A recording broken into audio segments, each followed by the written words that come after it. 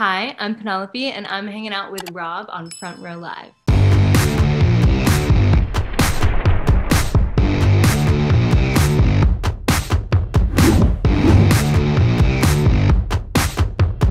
For starters, your songwriting, your storytelling is like you make it seem easy. You make it seem like you're just a natural at giving your listeners like these stories. And on top of it, you make it easy to understand the stories. Thank I feel you. like that's something that's difficult to kind of nail when you're creating music. How did you discover how to write these stories? I mean, I think a lot of it came from the music I listened to when I was younger and and listening to good storytellers. I think a lot of the music that spoke to me had really strong lyricism. So, you know, growing up, I listened to a lot of, with my parents, a lot of like Fleetwood Mac and Joni Mitchell and Stevie Wonder and people who were just good storytellers. And then I started listening to Taylor Swift and I love everything about the way she tells stories. So I was definitely inspired from that. And I think as I, kind of came into my own and started writing my own lyrics, I wanted to kind of emulate those people and, and was listening to people like Phoebe Bridgers and Julien Baker, as well as I entered college, who told stories or, or put songs in a way that it wasn't like, okay, verse, pre, chorus, whatever. It was kind of like just say what's on your mind and tell your story and think of a good melody and have it be specific enough to be your personal story, but also wide reaching enough to be relatable. So I just kind of tried to do that. On top of that, like your wordplay is also another thing. Like I feel like that that's another challenge in itself. Like do you do research before you write music? Like how do you balance these not two? Not really. I think it's it's also like I I studied history and English in school. And so I had to write a lot of essays. I had to read poetry. I had to read um, old English texts and, and stuff like that, where it was like an through an academic lens and was always kind of using that tool of writing and arguing and all of that and trying to be witty about it. Um, so it probably comes from that too. so as you as you jump into Drive, the new single, um, mm-hmm. what was that creative process for that song in particular? And you know how much of of this um, like learning that that we kind of just talked about came into play with the song? Yeah drive is a really funny one because i didn't even sit down that day to write a song. Like i i was it was my senior year of college and i was actually randomly taking guitar lessons as a um, class at school. It was like and I could take that for credit. I don't know. I got lucky. And um, and I part of that was like soloing, and so I was learning how to like how to you know you play two chords, you put yourself in a key, and then you just play the scale and and solo over it. And so I was I'd just gotten a loop pedal from Guitar Center.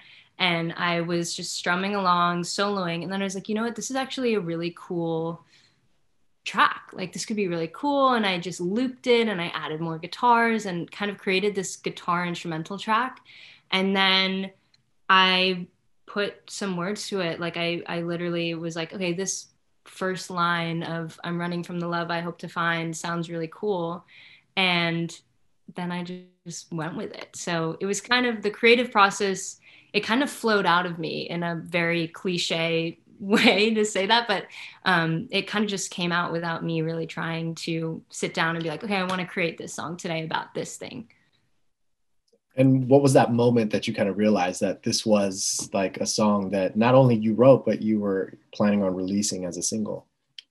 Not into, I mean, I wrote it and I made it a little like garage band track or logic track to it.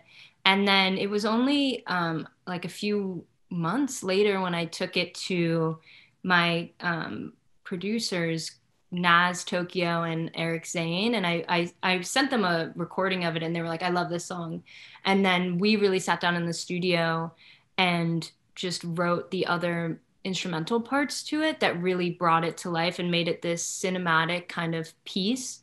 Um, and that's when I was like, "This is this is cool. This is this is gonna be cool." the entire song, it just kind of keeps me in that space and like I feel like I'm in the car with you as I'm like you know as we're talking about the video also but like one of the cool things about the song and towards the end of it you had these kind of like chant like style background vocals. Yeah. And it, it just gave me that feeling like um no pun intended but like i'm coming home. Like I, I am like i'm reaching the destination that i'm yeah. trying to get to. Like it was yeah. such a cool vibe. But um what was the idea behind that, that little like chance i don't even know what to call that section.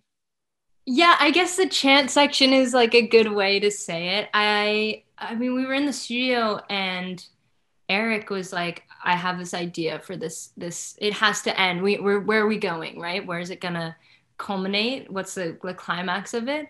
Um and he had this idea and he had recorded himself doing it and I was like, this is sick. And so then Naz jumped behind the booth, recorded her yeah, yeah, yeahs, then I did, and we just layered it all. Um, and I think that it's supposed to be exactly kind of what you felt it to be, which is, you know, you're reaching that that point. You're like driving in the car, either like your body is like coming out of the um, the rooftop of the car, right? And you're just like throwing your arms behind it um, and you're kind of reaching that like peak glide i always feel or like you're really you've really hit the high point yeah of the drive. How would you say like these producers kind of challenged you uh, whether it was vocally or whether it was like i don't know if you also play the instruments on on this um, song yeah. but like how so do you feel they challenged you? actually all the guitars in it are from my original so that's still the demo. so it's still that wow. like boom, boom, boom, boom, right? That's all the original guitars from the demo. And then we, we tracked some more guitar over it and um, obviously added more instruments. Um, but yeah, I think, I think a lot of, I, I felt fortunate with Eric and Naz that like a lot of our session was making the song not not trying to change its original DNA, just trying to like enhance the experience of it. Um, and I think they did an amazing job doing that. And, and Eric is is a wizard with everything he does. So I felt grateful for that. And aside from like you mentioning earlier that this song kind of just happened for you, um, how different was the process for this song, whether it was in the studio or even in the singing, compared to coming home? It was definitely different. I think coming home, I sat down with a guitar and I kind of figured out the chords I wanted and I, I started writing it. It was a very acoustic, acoustically driven song. Um, whereas Drive started on electric guitar and mm. kind of was always going to be this beast of a track. Um, so definitely a different process, but I think both came from the initial moment of me just sitting down and thinking through my emotions finally and writing out what I had processed from the experiences that I ended up writing about.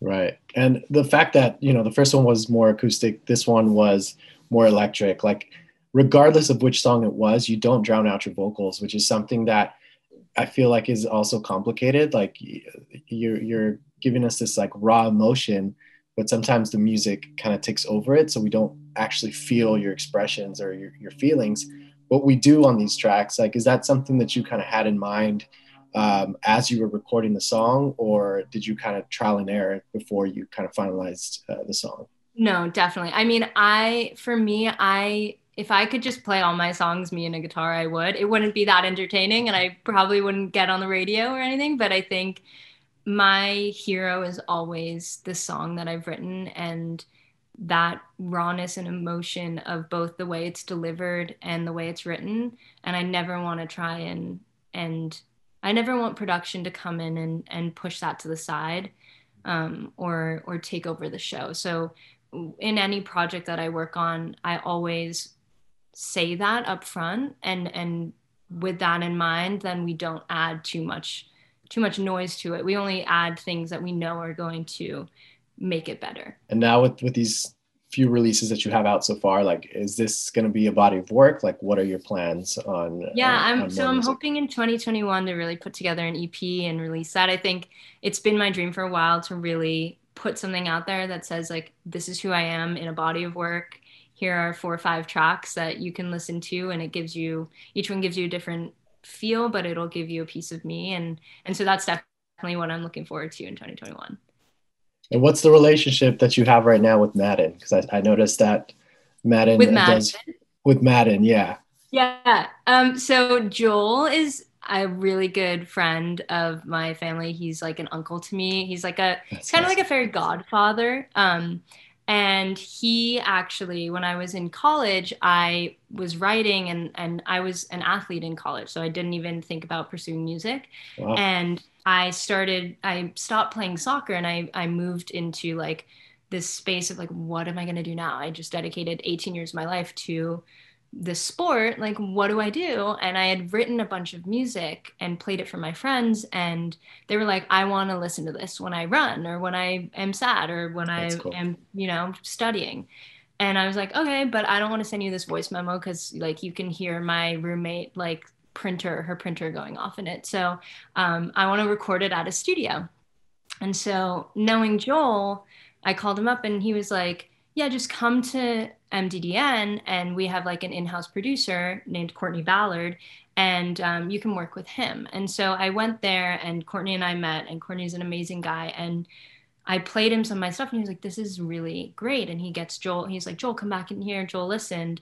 And he was like, Penel, I didn't even know this is what you were holding from me. Like you were withholding. Like why didn't you tell me? And I was like, I don't, I don't know. I just kind of like wrote these things. And he was like, you're crazy. Let's like, like make these songs and, and I want to help you. And so he's kind of always been there looking out for me and Catch Me When I Fall. The first song I put out was that song that we recorded that day. So, um, that's incredible. And it's been my most successful song ever. So it's, it's a cute little story and i'm so grateful to mddn and everything that they've they've constantly just given me so much advice and support and i'm so grateful. That's amazing. Yeah. that's really amazing. Like and it's cool. I love that you it's not something that sticks out like hey you know i'm i'm you know related to such and such. Like yeah. i love that you're still pursuing your music naturally um, and it's like obviously it speaks volume so like that's cool I appreciate it. Yeah. Well i'm glad that you've liked it and that's been able to reach you and and do things for you. I think that's always been the goal for my music is i wanted to write things that like helped people process the emotions that they weren't able to articulate because mm. that's you know by sharing a story that i have if that can help someone feel like oh wow that's so crazy. Like this is exactly what i feel um, that's something I like loved about Taylor Swift when I was in like middle school, being like, oh my God, this is exactly how I feel about my middle school crush, you know? Um, and it made me feel less alone. And I think that's the best part of music. That's the power of music. It makes you feel like you're not alone. Right. Right. Well, thank you for being you and thank you for creating and uh, thank you for, you know, you giving us the experience to kind of yeah. leave this crazy world for a second and just kind of join yours for a bit. I know. It's a uh, it's weird. I don't know. I feel like 2020 has been such a just mind and then still seeing people create beautiful things and being able to put stuff out there is is really warming. So i'm trying to do that too. Yeah. Awesome. Don't stop. Don't stop